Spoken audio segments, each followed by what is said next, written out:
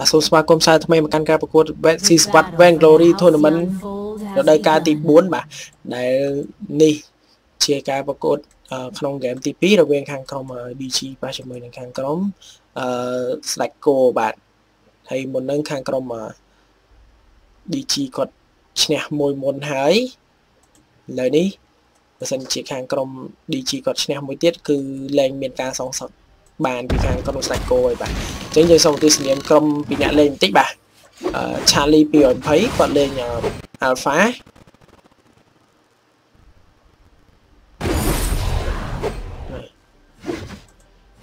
អ៊ីវហៀងបាទគាត់លេងអស KX បាទគាត់លេងអាដែនបាទហើយ ចំណែកខាងក្រុម God ខាងក្រុម Slacko វិញបាទ Catherine លេងនៅ God Spirit ហៀងលេង Wok ហើយចំណែកឯ Nawas គាត់លេង Ozo បាទឥឡូវមើលហៀងនេះគាត់ឈាមតិចណាស់បាទសបាញ់បាញ់មិញបាទប៊ីសទៅដល់ហើយតែឥឡូវនេះគាត់ទៅផ្ទះហើយ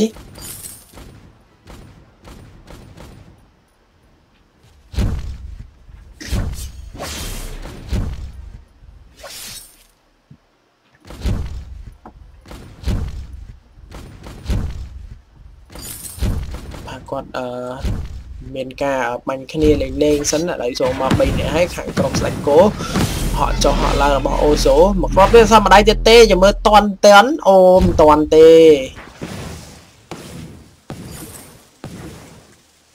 អត់តន់បាត់ first blood ដដែលបាទ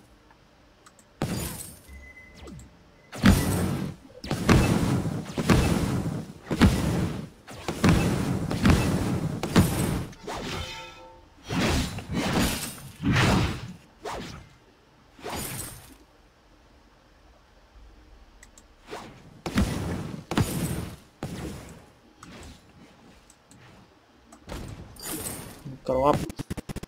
បាញ់សាកអូចេះមានបញ្ហាអីទេ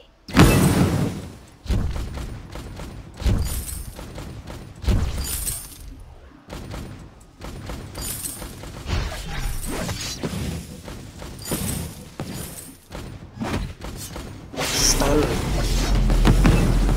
បាញ់យកបាញ់យកបាទអូ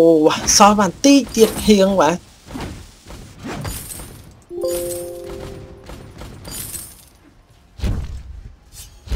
ស្តាន់លើបាញ់លើប៉មសិតតែម្ដងបាទនិយាយទៅឲ្យតែអ្នកយកសនេះបាទគឺដឹងទៅថាអាយ៉ាបាញ់ហេរ៉ូចិត្តស្លាប់អូសោះតែម្ដាយរហូតបាទឃើញថា DG គាត់អឺលឺលឺលឺហក់មួយអេអត់ហក់តទៀតទេ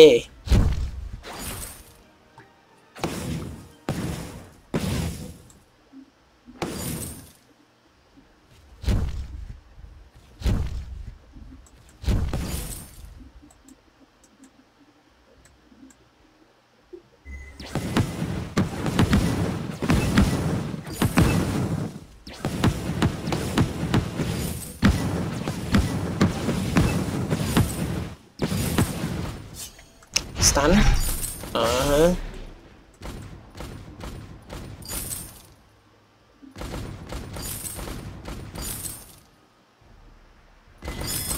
ក្របបាញ់ចោះបាញ់ឡើង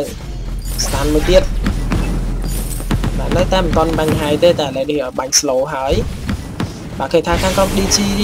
សធ្វើបាបខ្លាំងមែនតើឥឡូវហក់មកហើយហក់ចោះឡើងហក់ ជុំទី3នៅលើសសសឈិនតិចណាឥឡូវស្លាប់សបាត់ទៅហើយ first blood បានទៅលើ walk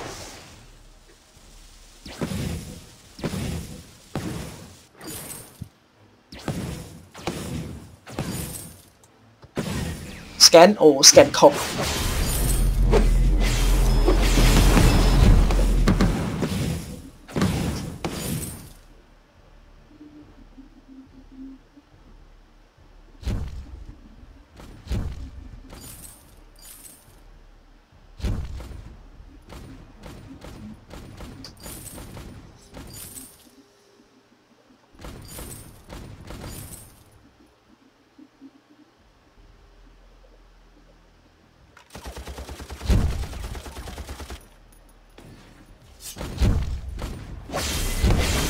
សមកទៀតហើយបាទនៅមុខមុខគេរហូតបាទ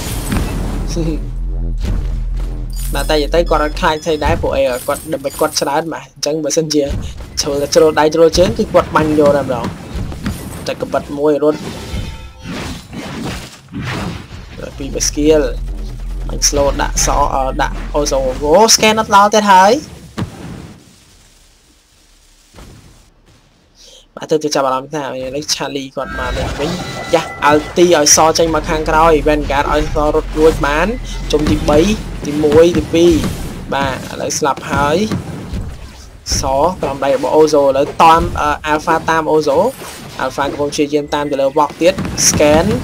skill តទី2ទៀត double kill បានទៅលើ Alpha good spirit ញ៉េ បាទគាត់ spirit បាទស្មានតែគាត់មិញហ្នឹងមានបញ្ហា disconnect អីហើយ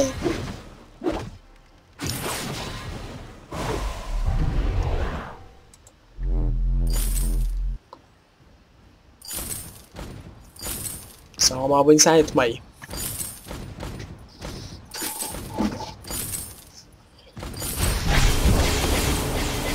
នៅតែនៅលេងមុខអឺប៉មគេចឹងបាទស ត់ឲ្យខ្លាចទេតែឥឡូវប៉មហ្នឹងប្រហែលជាដាច់ហើយព្រោះគាត់មកហ្នឹងកម្រងគឺចង់បុកប៉មតែម្ដងដល់ដាច់ប៉មហើយឥឡូវអូសូហក់មកហើយជុំទី3ធ្លាក់ទៅលើសតែឥឡូវនេះសថយក្រោយបានមុនបោបានវិញបាទបាញ់សូក៏អត់ចំណាយដែរ scan ខុសទៀតហើយ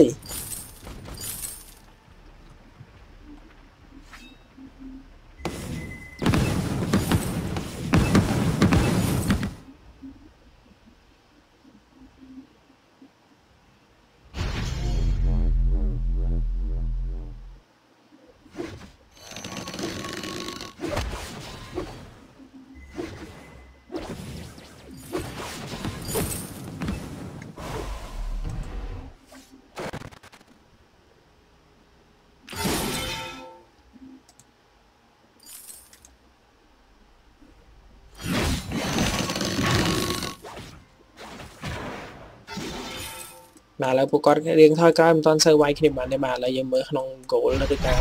clear ហ្នឹងបាទក្នុងទីទី7 30 second ហ្នឹងបាទគឺខាងក្រុម DG បាទគឺគាត់នាំមុខដល់ទៅ3000 goal ឯណោះបាទហើយចំណែក kill ហ្នឹងគឺគាត់តែស្មើគ្នាអឺ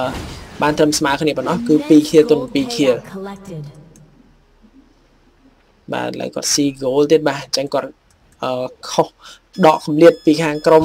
សាច់គោកាន់តែឆ្ងាយទៀតបាទគឺ goal ខុសគ្នាដល់ទៅ 3000k ណោះ បាទ 3k បាទមិន 3000k ហើយឥឡូវ LT ចេញមកប៉ុន្តែគាត់ block បានអូប៉ុន្តែនៅតែ load បានចំអញ្ចឹងបាទ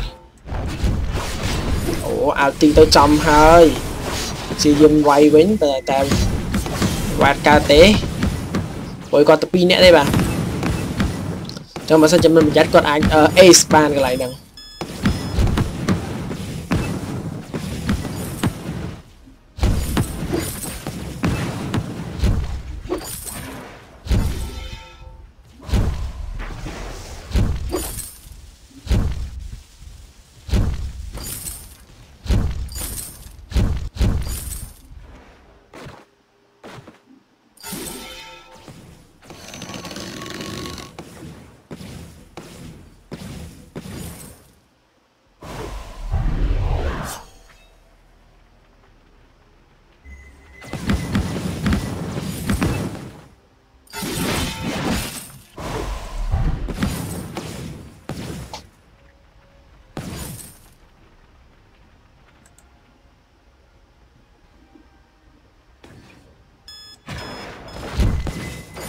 លោតទៅទៀតហើយ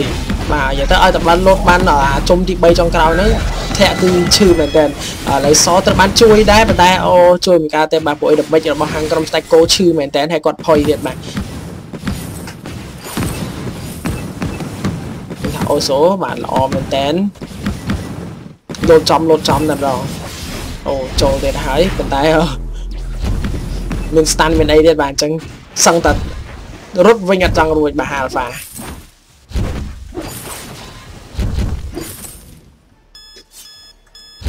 stun bắn crop អ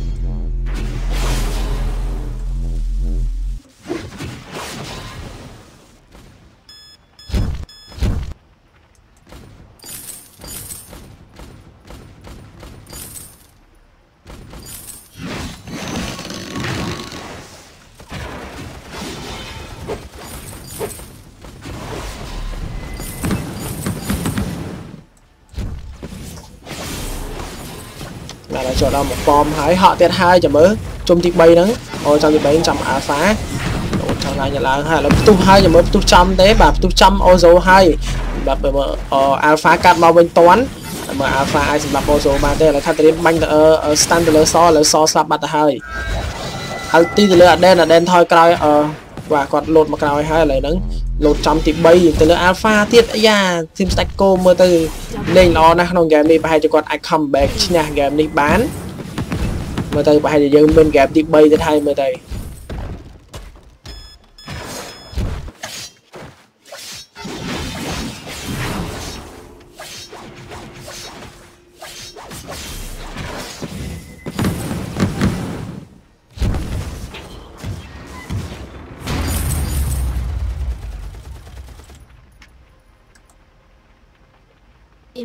gold payout collected.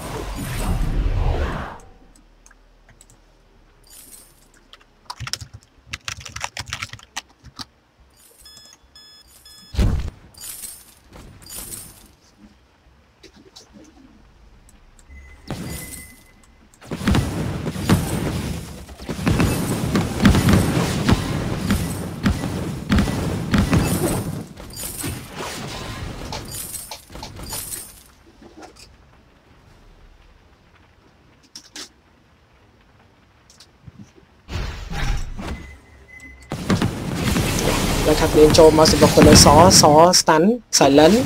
ហើយវាយ៉ាថយក្រោយសិនឥឡូវនេះអូសូព្យាយាមសម្រុកទៅលើអក្សរតែសដើរវាយដើរបាយដើរបាញ់ថយក្រោយបាញ់ឈឺណាស់ឥឡូវអូសូប្រហែលស្លាប់ត្រឹមនឹងហើយបាទអាយ៉ាឥឡូវខាងក្រុម DG គាត់ come back វិញហើយ double kill ace បានទៅលើខាងក្រុម DG ហើយ DG គាត់នៅមុខប៉មនេះហើយបាទនៅចិត្តប៉មស្រាប់ឡមែនតើបាទ ទៅភ្លេចខ្លួនបាទអូโซនោះបាទគាត់សម្រុកទៅលើតែសទៅខ្លួនម្នាក់ឯងពេកបាទចឹងទៅធ្វើឲ្យគាត់ដាច់ដៃដាច់ជើងពីខាងគ្នាគាត់បាទដាច់ប៉មហើយបាទឥឡូវខាងក្រុមដាច់គោកាត់មកវិញហើយថយក្រោយរៀងៗខ្លួនសិនណាឆ្លាតមែនតើបាទ scan ចាំកូនចៅដើម្បីរត់ឆ្លង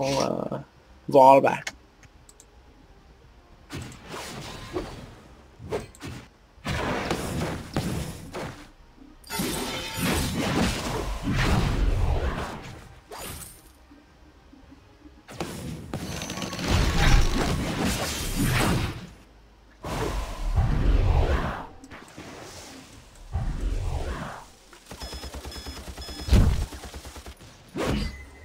ក្របក្របសនៅខាងក្រោយនេះមែនបាទប៉ុន្តែអូត្រូវបានអូសូជាដាក់ skill ដាក់អីលើនឹងអស់ជាម្ដងមួយកណាត់មួយកណាត់ប៉ុន្តែ Alpha សម្រាប់បានវក់មុនអឺសនៅស្លាប់នៅរស់បានយូរមែនតើបាទគាត់ធ្វើ damage បានច្រើនណាស់ឥឡូវនេះអូសូនៅសល់ឈាមតិចណា scan ចំហើយបាទនិយាយទៅមិន scan ចំគាត់តែ scan ចំកូនចៅប៉ុន្តែវាជាប់ damage ដែរបាទល្អមែនតើល្អល្អបាទលើខាងក្រុម DG បាទ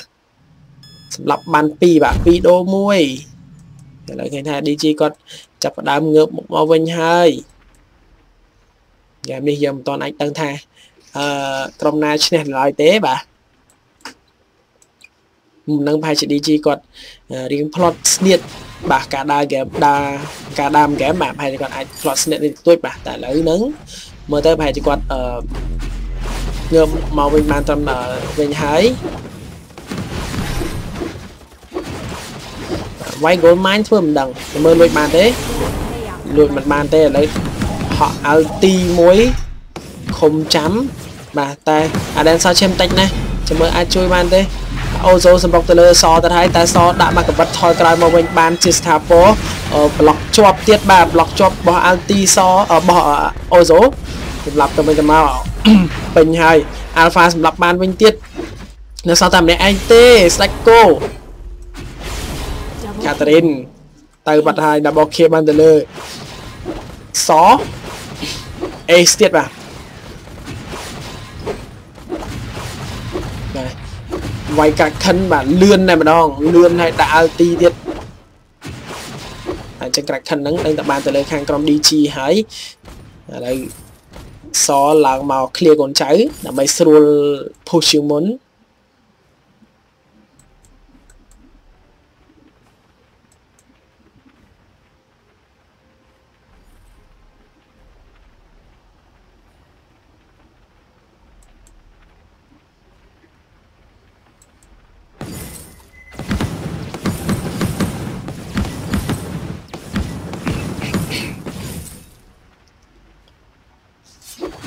ស្តាន់បាទស្តាន់ទៅលើសមួយគេនៅឆ្ងាយនេះតែម្ដងបាទឥឡូវនេះ Alpha ត្រូវបានគេវាយមុនគេអស់ឈាមពាក់កណ្ដាលហើយ silent ចោលអត់ទាន់បាន vào ទេក៏ថយក្រោយសិនឥឡូវ scan មកចំហើយបាទនៅចិត្តដៃនរណាគេវាយអ្នកនៅមុនតែម្ដងបាទអញ្ចឹងគាត់វាយ Catherine មុនហើយចំណែកឯ Kraken នេះគាត់ព្យាយាមនេះទៀតឥឡូវ Catherine នៅសល់ឈាមតិច Alpha ក៏សល់ឈាមតិចដែរតែគាត់នៅសល់ជីវិតទៅមួយទៀតយ៉ា Ozo ចូលមកនៅមុខគេពេកឥឡូវស្លាប់មុនគេហើយបាញ់ silent ចំចុច block Alpha Alpha អត់ចង់វាយ hero ទេគឺគាត់ចង់វាយប៉មលើដាច់ប៉មហើយបាទលោតមួយទៀតបោផ្ទុះអូដល់បងខៀមមកទៅលើ Alpha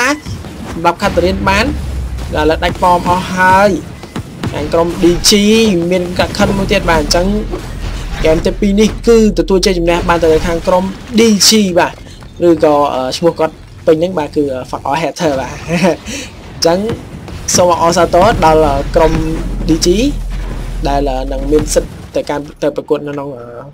ជុំទី2ជាបន្តទៀតបាទ